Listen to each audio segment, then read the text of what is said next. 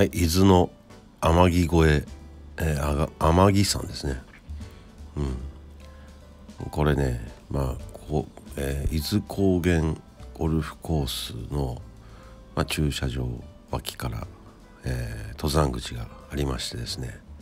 はいそこからえー、天城山重曹とかねまあちょっと、えー、できたらいいんですけど、まあ、とてもとてもとてもとても、えー、まず目指したのはですね、えー、万次郎岳万三郎岳。